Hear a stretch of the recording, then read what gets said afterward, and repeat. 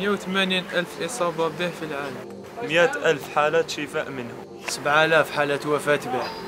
80 إصابة في الجزائر السعلة سيلان الأنف الحمى. ضيق في التنفس. تجمعات الأماكن المزدحمة. المصافحة والتسلام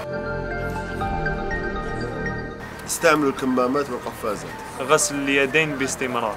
استخدموا المناديل أثناء العطس أحمي روحك وأحميني.